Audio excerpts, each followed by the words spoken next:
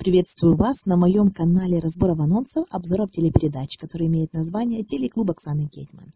Сейчас я вам расскажу, что нас ждет в следующей серии проекта «Холостяк» на телеканале СТБ. А вы мне напишите в комментариях, какая холостячка вам нравится больше всего. Ну вот и закончилось мое традиционное приветствие.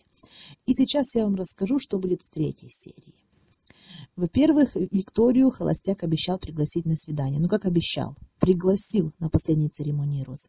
Но это у них не состоится. Виктория и Холостяк будут тайно переписываться, договариваться о свидании, но это не получится, потому что все-таки наконец-то девчонки с разных домов встретятся. Второй дом тоже узнает, что есть первый, и наконец-то они встретятся. Также холостяк отправится на романтичное свидание с Юлией и будет с ней даже целоваться. И это будет считаться официальным первым поцелуем на проекте. Хотя первый поцелуй уже состоялся на церемонии роз. Такой вот у нас любвеобильный холостяк. А вы мне напишите в комментариях, какая холостячка вам нравится больше всего. Жду от вас пальчики вверх и до новых встреч!